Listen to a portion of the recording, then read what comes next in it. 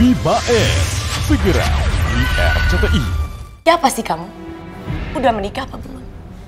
Menurut aku, Mbak Rani terlalu banyak menyimpan rahasia. Cukup.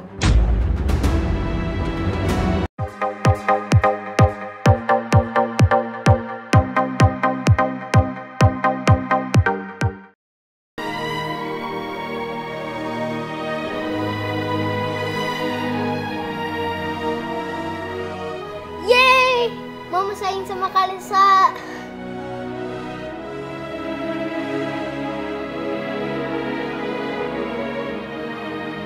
Assalamualaikum.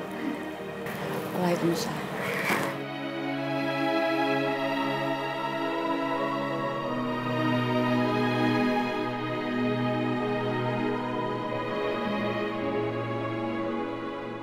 Nathan sayang, kamu udah sarapan ya?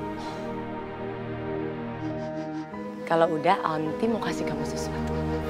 Mau mau. Mau? Ayo, ayo, ayo.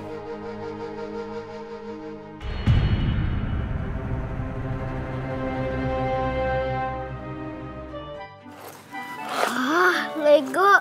Makasih Anti. You're welcome, sayang. Kamu seneng kan? Ya, Anti.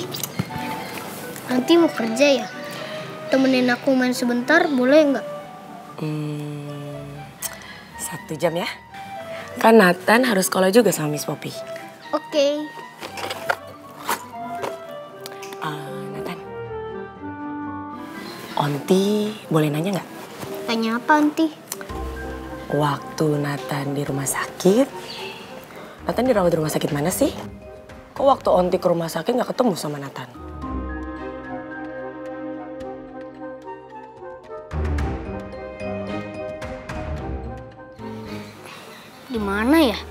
Nathan juga lupa. Soalnya Nathan kan sakit. Tahu-tahu udah di kamar rumah sakit gitu. Gitu. Terus, siapa yang donorin darah buat Nathan?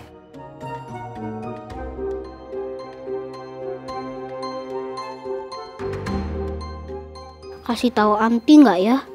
Tapi aku kan udah janji sama Kalesa supaya nggak ngasih tahu kalau Kalesa yang donorin darah buat aku.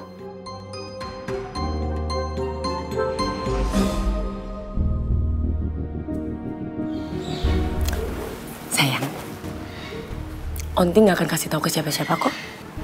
Onti itu cuma pengen tahu cerita sebenarnya aja. Nathan percaya kan sama Onti?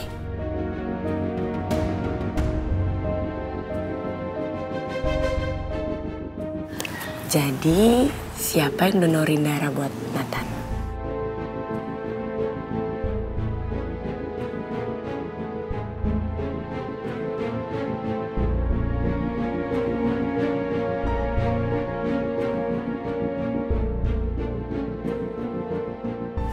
Yang donorin darah buat Nathan.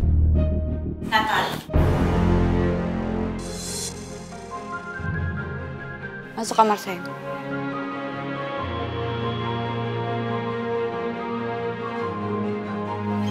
Nathan denger mama nggak?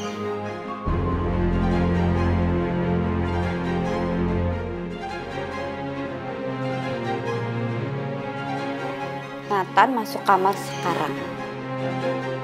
Iya, mah. Harus kamu bentak-bentak Nathan. Kamu tahu kan kalau itu nggak bagus buat psikologisnya dia. Kamu tahu apa soal psikologi anak?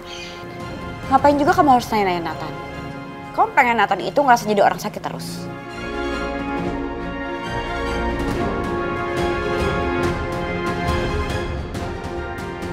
Oke, jujur ya mbak.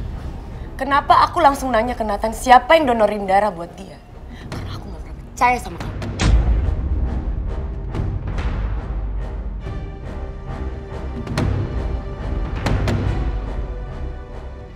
Selama ini aku aja nggak pernah tahu asal usul kamu mbak.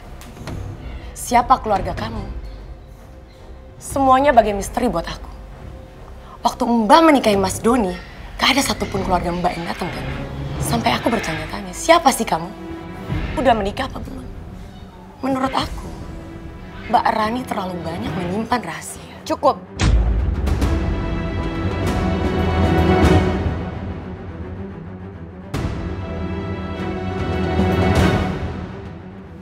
Kamu gak berhak ngakimin aku.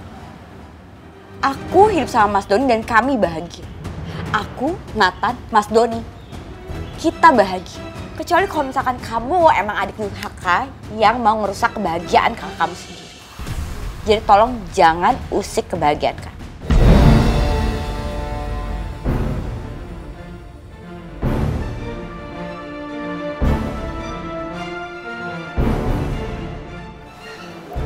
Justru aku lakukan ini semua untuk Mas Doni. Karena aku nggak mau Mas Doni itu menikah dengan orang yang salah. Orang yang salah. Selama 8 tahun aku nikah sama Mas Doni, apa pernah aku ngerugiin Mas Doni sedikit pun? Gak pernah. Dari urusan rumah sampai sakitnya Nathan, aku ngurus semuanya sendiri tanpa ngerepotin Mas Doni.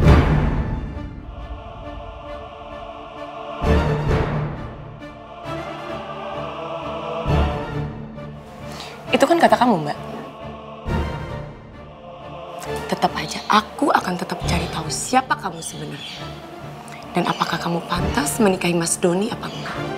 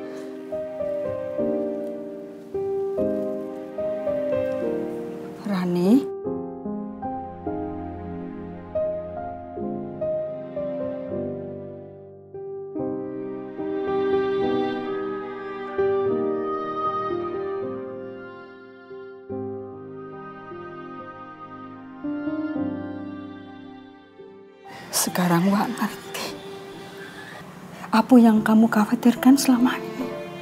Kenapa kamu sampai merasakan masa lalu kamu ke Doni? Hidup aku udah hancur, Wak. Aku gak mau makin hancur lagi. Wak ngerti. Tapi soal kamu melakukan Alessa di sini sebagai pembantu, itu hal lain. Wak tetap tidak setuju. Meski begitu, kamu gak usah khawatir. Wak janji gak akan cerita kepada siapa pun soal Alisa dan masa lalu kamu. Wak janji. Wak gak mau rumah tangga kamu sama Doni hancur. Wak akan jaga rahasia kamu.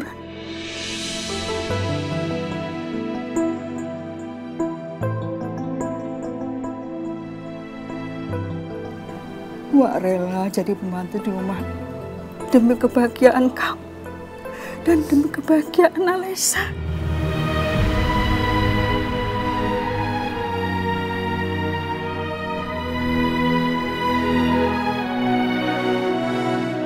Tapi satu hal yang harus kamu tahu.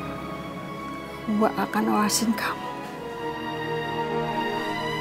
Dan gak akan biarkan kamu mengambil darah Alessa lagi. Wak. Rani janji. Makasih banyak ya.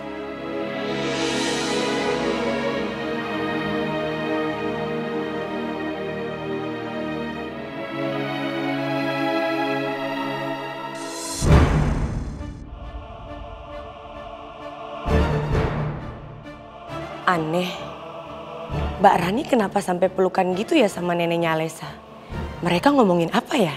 Aku jadi yakin kalau Mbak Rani menyembunyikan sesuatu. Lihat aja Mbak, suatu saat aku pasti bongkar semua rahasia kamu.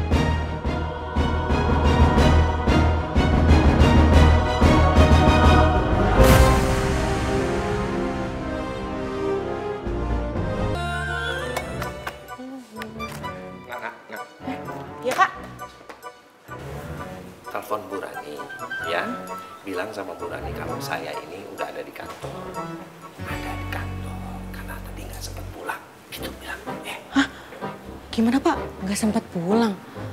Aduh, saya nggak paham Pak. Maksudnya gimana sih?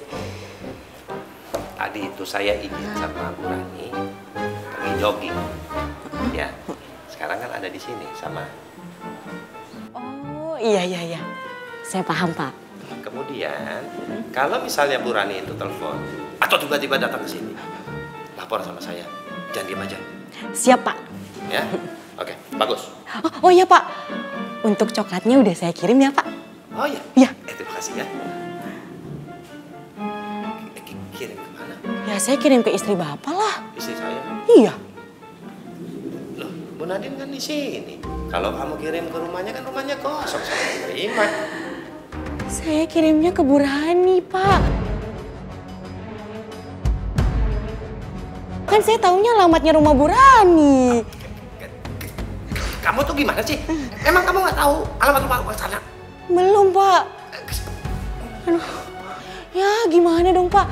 Coklatnya udah telanjur saya kirim.